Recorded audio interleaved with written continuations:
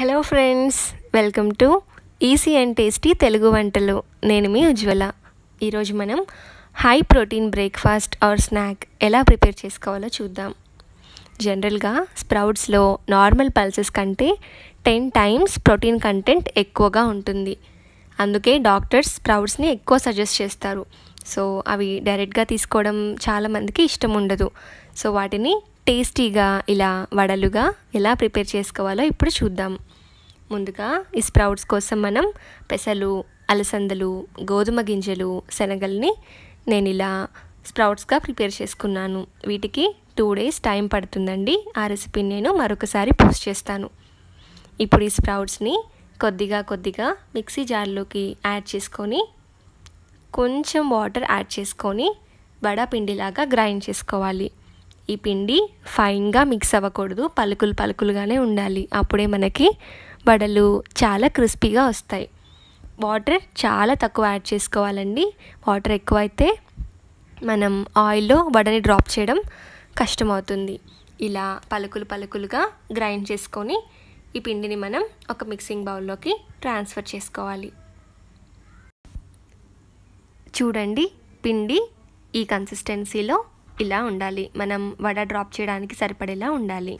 ఇప్పుడు ఇందులో సన్నగా తరిగిన ఒక ఉల్లిపాయ తరుగు రెండు లేదా మూడు పచ్చిమిర్చి తరుగు నాలుగు రెమ్మల కరివేపాకు ఒక ఇంచు అల్లంని ఇలా దంచుకొని యాడ్ చేసుకోవాలి.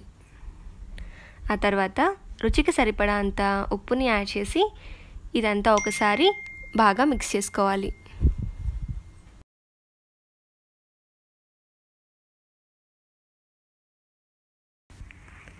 ఇప్పుడు ఇందులో ఒక స్పూన్ జీలకర్ర సన్నగా తరిగిన కొత్తిమీరని యాడ్ చేసి బాగా మిక్స్ చేసుకోవాలి. ఇప్పుడు డీప్ ఫ్రైకి సరిపడా ఆయిల్ని హీట్ చేసుకొని మనం ఇందులో వడల్ని డ్రాప్ చేసుకోవాలి. ఇలా ఒక ప్లాస్టిక్ కవర్ తీసుకొని దాని మీద ఇలా పిండిని చిన్న చిన్న వడలుగా ఒత్తుకొని ఒక్కొక్కటిగా ఆయిల్లో డ్రాప్ చేసుకోవాలి. మీరు మధ్య మధ్యలో వాటర్తో కవర్ని తడుపుకుంటూ ఉండాలి. అప్పుడు మీకు వడలు అంటుకోకుండా వస్తాయి. ఇలా అన్ని వడల్ని ఆయిల్లో డ్రాప్ చేసుకొని ఫ్లేమ్ని మీడియంకి అడ్జస్ట్ చేసుకొని ఎయిట్ టు టెన్ మినిట్స్ పాటు ఈ వడల్ని రెండు వైపులకి ఫ్లిప్ చేసుకుంటూ మంచి గోల్డెన్ రెడ్ కలర్ వచ్చేంత వరకు ఫ్రై చేసుకోవాలి. ఇవి ఎక్కువసేపు ఫ్రై అవ్వాలండి లేకపోతే లోపల పిండిగానే ఉంటుంది. మీకు డీప్ ఫ్రైస్ ఇష్టం లేకపోతే మీరు ప్యాన్లో రెండు టేబుల్ స్పూన్ల ఆయిల్ని యాడ్ చేసుకొని అందులో ఈ వడల్ని అలా పెట్టుకొని రెండు వైపులకి తిప్పుకుంటూ రోస్ట్ చేసుకోవచ్చు.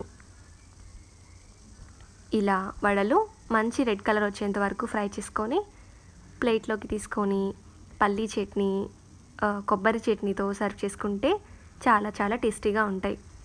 మీరు కూడా తప్పకుండా ట్రై చేయండి. ఇప్పుడు ఒక వడని మీకు బ్రేక్ చేసి చూపిస్తున్నాను చూడండి. లోపలంతా చక్కగా కుక్ అయ్యి చాలా చాలా క్రిస్పీగా ఉంటాయి. మీరు కూడా తప్పకుండా ట్రై చేయండి.